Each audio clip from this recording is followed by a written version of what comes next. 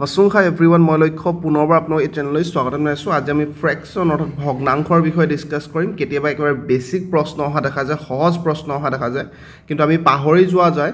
গতিকে আজি আমি একেবাৰে বেছিকৰ পৰা ষ্টাৰ্ট কৰিছোঁ ভগ্নাংশৰ। আপোনালোকে ভালকৈ চাই যাব।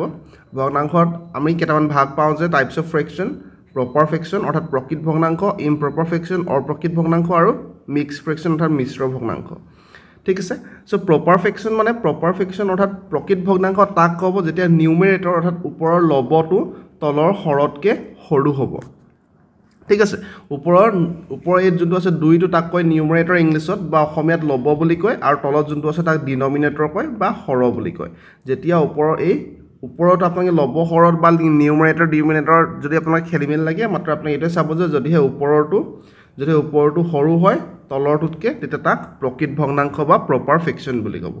ঠিক আছে যেতিয়া ওপৰৰ নিউমাৰেটৰটো ডিনমিনেটৰতকৈ সৰু হ'ব বা লবটো হৰতকৈ সৰু হ'ব তাক ক'ব প্ৰকৃত ভগ্নাংশ বা প্ৰপাৰ ফেকশ্যন ঠিক আছে ঠিক তেনেদৰে অপ্ৰকৃত মানে তাৰ উল্টাটো হৈ যাব। যেতিয়া লবটো হৰতকৈ ডাঙৰ হৈ যাব চা ওপৰটো যেতিয়া ডাঙৰ হ'ব তাক ক'ব অপ্ৰকৃত ভগ্নাংশ বা ইমপ্ৰপাৰ ফেকশ্যন ভালকৈ চাওক আপোনালোকে ইয়াত স্পষ্টকৈ আছে ইমপ্ৰপাৰ ফেকশ্যন মানে যেতিয়া ওপৰটো ডাঙৰ হ'ব তলৰটোতকৈ ক্লিয়াৰ আছে আৰু মিশ্ৰ ভগ্নাংশ মানে যেতিয়া এইটো চেপত আহিব বা আৰু এটা কথা যে আমি এই ইমপ্ৰপাৰ ফেকশ্যনটোক ভালকৈ চাওক এই ইমপ্ৰপাৰ ফেকশ্যনটোক আমি মিশ্ৰ ভগ্নাংশলৈ কনভাৰ্ট কৰিব পাৰোঁ মিক্স ফ্ৰেকশ্যনলৈ কনভাৰ্ট কৰিব পাৰোঁ অপ্ৰকৃতৰ পৰা মিক্সলৈ আনিব পাৰোঁ বা মিক্স মিক্সৰ পৰা অপ্ৰকৃতলৈ আমি নিব পাৰোঁ। এটাৰ পৰা আনটোলৈ আমি কনভাৰ্ট কৰিব পাৰোঁ সেইটো কেতিয়াবা আহে একেবাৰে সহজ প্ৰশ্ন হয় আৰু সহজ প্ৰশ্ন অহা দেখা যায় কেতিয়াবা। আহিছে বহুতবাৰ। চ' এইটো যদি আপুনি চাই প্ৰথম প্ৰশ্নটো চাওক কনভাৰ্ট টু ইমপ্ৰপাৰ ফেকশ্যন অপ্ৰকৃত ভগ্নাংশলৈ কনভাৰ্ট কৰিব দিছে।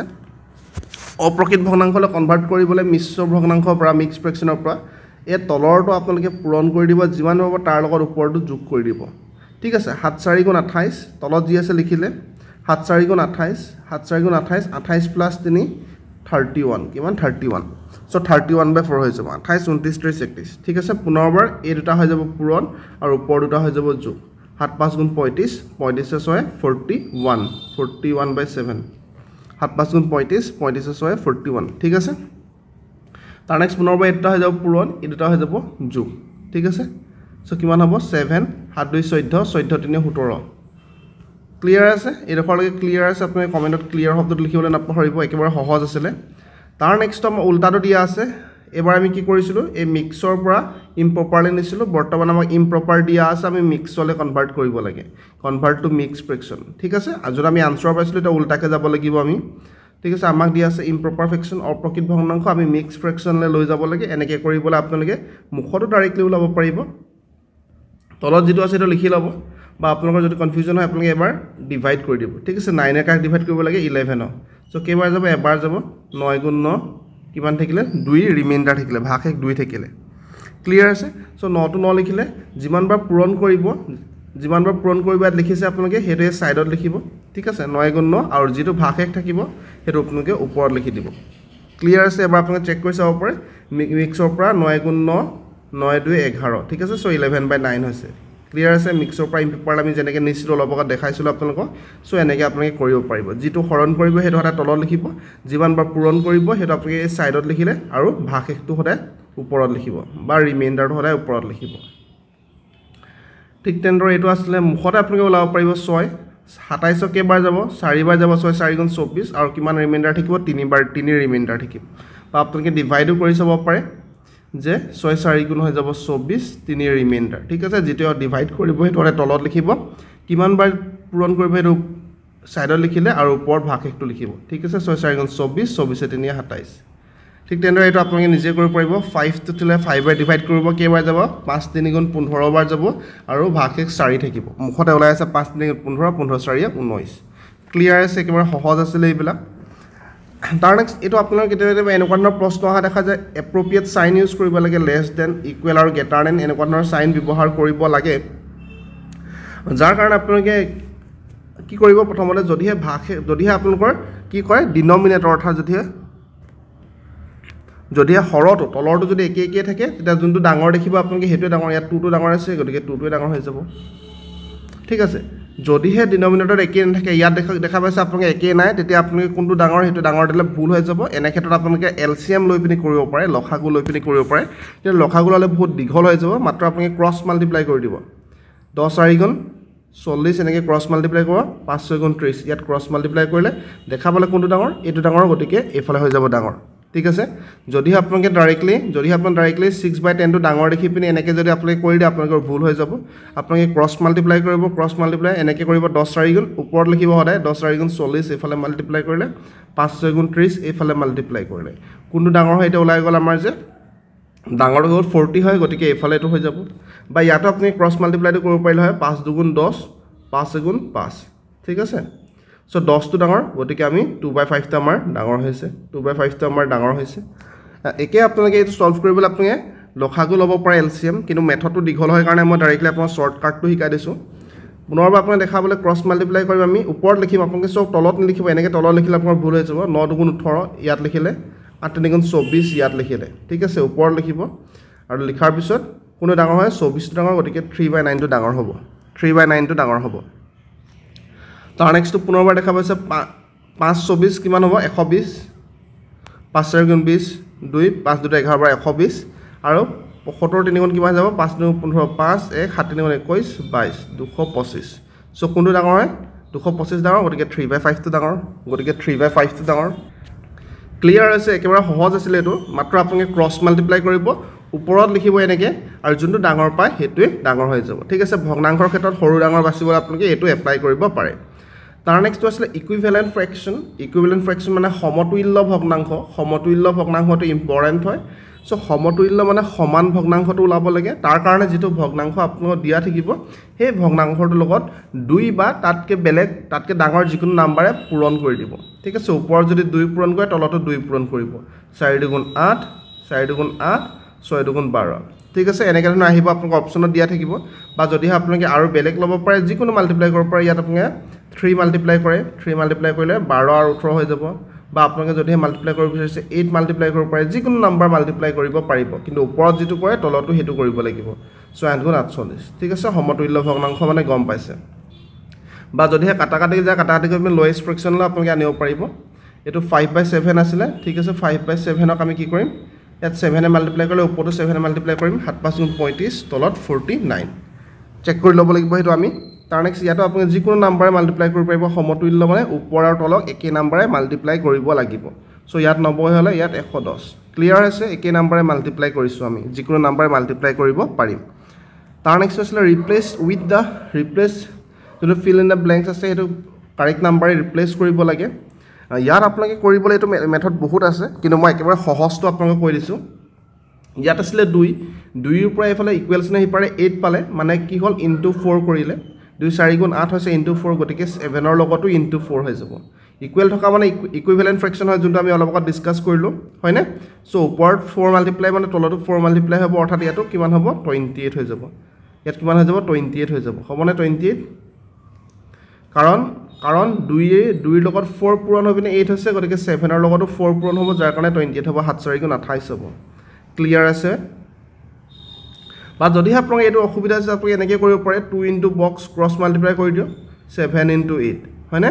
চ' বক্সটো ইয়াত থৈ দিওঁ ওলাব লাগে আমি সেইটো ভেলুটো ছেভেন ইনটু এইট এইফালে দুইটো পূৰণ আছিলে এইফালে আহিলে শৰণ হৈ যাব। চ' দুইৰে আঠক চাৰিবাৰ যাব সাত চাৰি গুণ আঠাইছ বক্স মানে আমি আঠাইছ পালোঁ এনেকৈও আপোনালোকে ওলাব পাৰিব। এনেকৈ ওলাব পাৰিব। পুনৰবাৰ ইয়াত থাৰ্টি ফাইভ আছিলে থাৰ্টি ফাইভৰ পৰা ছেভেন পাই গ'ল মানে ফাইভেৰে ডিভাইড কৰিলে। পাঁচ সাত গুণ পঁয়ত্ৰিছ ফাইভেৰে ডিভাইড কৰিলে। চ' ওপৰতো আমি ফাইভেৰে ডিভাইড কৰিম ফাইভেৰে ফিফটিনক ডিভাইড কৰিলে থ্ৰী পাম পাঁচ তিনি গুণ পোন্ধৰ থ্ৰী পাম। ক্লিয়াৰ আছে? পুনৰবাৰ কৈছোঁ থাৰ্টি ফাইভৰ পৰা ছেভেন পোৱা মানে ইয়াত ফাইভেৰে ডিভাইড কৰিলে। চ' ফিফটিনকো আমি ফাইভেৰে ডিভাইড কৰিম গতিকে পাঁচ তিনি গুণ পোন্ধৰ থ্ৰী পালোঁ। অসুবিধা হৈছে বুজাত ক্ৰছ মাল্টিপ্লাই কৰি দিওঁ অসুবিধা হৈছে বুজাত এই থাৰ্টি ফাইভ ইনটু বক্স কৰি দিলোঁ cross multiply seven into fifteen কৰি দিলোঁ। বক্সটো থৈ দিয়ক ইয়াত আপোনালোকে? Seven into fifteen divided by thirty five হয়নে? চ' সাতেৰে থাৰ্টি ফাইভৰ পাঁচবাৰ যাব পাঁচেৰে পোন্ধৰক তিনিবাৰ যাব। চ' আনচাৰটো বক্স মানে তিনি পালে। কিমান পালে? তিনি পালে। নিশ্চয় ক্লিয়াৰ হৈছে যদি অসুবিধা আছে ভিডিঅ'টো ৰিপিট চাব পাৰে একেবাৰে সহজ আছিলে। তাৰ নেক্সটটো আপোনালোকে এইটো চাওক এইটো একেবাৰে সহজত ওলাব পাৰিব আপোনালোকে ক্ৰছ মাল্টিপ্লাই কৰি পিনি ওলাব পাৰিব। বা ডাইৰেক্টে ওলাই আছে। দুইৰে টেন পাবলৈ ইয়াত কি হ'ব লাগিব? ফাইভ থাকিব লাগিব। আৰু তিনিৰে থাৰ্টি পাবলৈ ইয়াত কি হ'ল? টেন থাকিব লাগিব। চ' ফাইভ বাই টেন আমাৰ আনচাৰ হ'ব। ফাইভ বাই টেন আমাৰ আনচাৰ হ'ব। কাৰণ পাঁচ দুগুণ দহ তেতিয়াহে হ'ব দহ তিনিগুণ ত্ৰিছ তেতিয়াহে হ'ব। বা যদি আমাৰ আপোনালোকৰ অসুবিধা লাগিছে ক্ৰছ মাল্টিপ্লাই পুনৰ পৰা কৰি দিয়ক। বক্সটো ইয়াত থৈ দিয়ক। দহ ইণ্টু তিনিটো এইফালে হৰণ হৈ আছে এইফালে গ'লে পূৰণ হৈ যাব। দুইটো এইফালে পূৰণ হৈ আছে এইফালে গ'লে হৰণ হৈ যাব। টু ইণ্টু থাৰ্টি হয়নে? বাকী দুইৰে দহক পাঁচবাৰ যাব তিনিৰে ত্ৰিছক দহ বাৰ দহ বাৰ যাব তিনি দগুণ হয়নে? চ' ফাইভ বাই টেন আমাৰ আনচাৰ হৈ গ'ল। যোনটো আমি আৰম্ভণিতে পাইছিলোঁ যে ইয়াত ফাইভ হ'ব তলত টেন হ'ব ফাইভ বাই টেন এনেকৈও আপোনালোকে ওলাব পাৰিব। এনেকৈও আপোনালোকে ওলাব পাৰিব। তাৰ নেক্সটটো একে আপোনালোকে পুনৰবাৰ বক্সটো থৈ পিনে আপোনালোকে ক্ৰছ মাল্টিপ্লাই কৰি পিনে ওলাব পাৰিব বা ডাইৰেক্টলি আনচাৰটো ওলাই আছে twenty four into five three into seventy five three into seventy five পাঁচ পোন্ধৰ পঁসত্তৰ হয়নে? তিনি আঠ গুণ চৌবিছ। So' eight by fifteen eight by ফিফটিনটো আমি এনেকৈ ওলাব পাৰোঁ। আঠৰ লগত কি পূৰণ হ'ব? এইট পূৰণ হ'ব। পাঁচৰ লগত কি পূৰণ হ'ব? পোন্ধৰ পূৰণ হ'ব। তেতিয়া পঁসত্তৰ হ'ব। পাঁচ পোন্ধৰ পঁসত্তৰ তিনি আঠ গুণ চৌবিছ। গতিকে এইট বাই ফিফটিন হৈছে। চ' এনেকৈ ওলাব পাৰোঁ। যেনেকৈ আপোনালোকে সুবিধা পায় তেনেকৈ কৰিব পাৰিব। এইবিলাক সহজ প্ৰশ্ন আছিলে। নিশ্চয় ক্লিয়াৰ হৈছে? তাৰ নেক্সটটো এইটো এইটো ইকুৱেল হয়নে নহয় কৈছে is four by five equal to sixteen by twenty four by five আৰু ছিক্সটিন বাই টুৱেণ্টিটো ইকুৱেল হয়নে নহয় কৈছে? ফ'ৰ বাই ফাইভ আৰু ছিক্সটিন বাই টুৱেণ্টিটো ইকুৱেল হয়নে নহয় কৈছে? ইকুৱেল হয়নে নহয় আমি ইকুৱেল ধৰি লৈছোঁ। মাত্ৰ আপোনালোকে এনেকৈ এনেকুৱা ক্ষেত্ৰত ডাইৰেক্টলি এইবিলাক কৰিবলৈ প্ৰয়োজন নাই ডাইৰেক্টলি ক্ৰছ মাল্টিপ্লাই কৰিব। ক্ৰছ মাল্টিপ্লাই কৰক। ফ'ৰ ইণ্টু টুৱেণ্টি কৰিলে ফাইভ ইণ্টু ছিক্সটিন কৰিলে যদিহে সমান ভেলু পায় তেনেহ'লে ইকুৱেল হ'ব। চাৰি চাৰি বিছ আশী হৈ গ'ল পাঁচ ষোল্লং কিমান হ'ব আশী হৈ গ'ল। ঠিক আছে গতিকে এইটো ইকুৱেল হয়। এইটো ইকুৱেল হয় বুলি ক'ব য়েছ বুলি আমি টিক কৰিব লাগিব। এইটো ইকুৱেল হয়। ইকুৱেল হয়নে নহয় কৰিবলৈ পুনৰবাৰ কি কৈছোঁ মই? মাত্ৰ আপুনি ক্ৰছ মাল্টিপ্লাই কৰি দিয়ক। ঠিক আছে? ছয় পোন্ধৰক নব্বৈ দহ ন দহ গুণ নব্বৈ গতিকে এইটো ইকুৱেল হয়। কি হয়? ইকুৱেল হয়। ইকুৱেল হয়নে নহয় চেক কৰিবলৈ পুনৰবাৰ কৈছোঁ আপোনালোকে। ক্ৰছ মাল্টিপ্লাই মাত্ৰ কৰি দিলে হ'ল। নিশ্চয় বুজি পাইছে? সহজ আছিলে। তাৰ নেক্সট এইটো এটা সহজ প্ৰশ্ন আছিলে যে একেবাৰে সহজ প্ৰশ্ন। দেয়াৰ আৰ হাণ্ড্ৰেড ষ্টুডেণ্টছ যে এশটা ষ্টুডেণ্টছ আছিলে। তাৰে three by five of the total students total ষ্টুডেণ্টৰ থ্ৰী বাই ফাইভে পাছ কৰিলে তেনেহ'লে কিমানে ফেইল কৰিলে সেইটো আমি ওলাব লাগে। কিমানে ফেইল কৰিলে সেইটো ওলাব লাগে। এইটো আপোনালোকে বহুত মেথডত কৰিব লাগে বহু কৰিব পাৰে যিকোনো। পুনৰবাৰ কৈছোঁ অসমীয়াতে চাওক এশটা ট'টেল ষ্টুডেণ্ট আছিলে যাৰ থ্ৰী বাই ফাইভ অংশই পাছ কৰিলে তেনেহ'লে ফেইল কিমানে কৰিলে? থ্ৰী বাই ফাইভে পাছ কৰা মানে টু বাই ফাইভে ফেইল কৰিলে হয়নে? ট'টেলটো পাঁচটা আছিলে তাৰে তিন থ্ৰী বাই ফাইভে পাছ কৰা মানে টু বাই ফাইভে ফেইল কৰিলে। টু বাই ফাইভে ফেইল কৰিলে তো আপুনি গম পাইছে। এইটো পাছ কৰিলে তো ফেইল কিমানে কৰিলে? টু বাই ফাইভে ফেইল কৰিলে। Two by five car? Two by five hundred hundred total আছিলে হাণ্ড্ৰেডটা হাণ্ড্ৰেডটা ষ্টুডেণ্টৰ টু বাই ফাইভে ফেইল কৰিলে। চ' পাঁচেৰে এশ কেইবাৰ যাব? বিছ বাৰ যাব? গতিকে কিমান? চল্লিছটা ষ্টুডেণ্টে ফেইল কৰিলে। চল্লিছটা ষ্টুডেণ্টে ফেইল কৰিলে। ওলাই গ'ল আমাৰ কিমানটা ষ্টুডেণ্টে ফেইল কৰিলে কৈছে? চল্লিছটা যদিহে পাছ কৰা ষ্টুডেণ্টটো নাম্বাৰত সুধিলোঁ হয় আমাৰ ভগ্নাংশত দিয়া আছে পাছ কিমানে কৰিলে? থ্ৰী বাই ফাইভ ষ্টুডেণ্টে গতিকে যদি নাম্বাৰত সুধিলে three by five of hundred কৰি দিলোঁ হয় আমি। পাঁচেৰে পুনৰবাৰ ইয়াক বিছ বাৰ যাব হয়নে? তিনি দুগুণ ছয় ষাঠি। তো ষাঠিটাই পাছ কৰিছিলে। ষাঠিটা ষ্টুডেণ্টে পাছ কৰিছিলে। চ' কিমানে ফেইল কৰিলে? ইয়াৰ পৰা ওলাব পাৰিব। এশৰ পৰা ষাঠিটাই পাছ কৰিলে চ' চল্লিছটাই ফেইল কৰিলে। এনেকৈও কৰিব পাৰিব। কাৰোবাৰ অসুবিধা হ'ল নেকি বুজাত? একেবাৰে সহজ প্ৰশ্ন আছিলে যে এশটা ট'টেল ষ্টুডেণ্টছ আছিলে। ভালকৈ চাওক এশটা ষ্টুডেণ্ট আছিলে তাৰ থ্ৰী বাই ফাইভে পাছ কৰিলে মানে টু বাই ফাইভে ফেইল কৰিলে। টু বাই ফাইভ কাৰ টু বাই ফাইভ হাণ্ড্ৰেড গতিকে ফাইভেৰে হাণ্ড্ৰেডক বিছ বাৰ গ'ল। চ' দুই দুগুণ চাৰি চল্লিছটাই চল্লিছটা ষ্টুডেণ্টে ফেইল কৰিলে ষাঠিটা ষ্টুডেণ্টে পাছ কৰিছিলে। ক্লিয়াৰ আছে? সহজ আছিলে ভগ্নাংশৰ এইবিলাক একেবাৰে বেছিক আছিলে ইয়াৰ পৰা প্ৰশ্ন আহি যাব পাৰে গতিকে আপোনাৰ বেছিকটো ফাৰ্ষ্টত ক্লিয়াৰ কৰি লওক। আশা কৰিছোঁ আপোনাৰ কনচেপ্টটো সম্পূৰ্ণ ক্লিয়াৰ হৈছে। যদি ভিডিঅ'টো ভাল পালে লাইক কৰিব শ্বেয়াৰ কৰিব ছাবস্ক্ৰাইব কৰক। বহুত বেছি শুভেচ্ছা জ্ঞাপন কৰিছোঁ। ধন্যবাদ।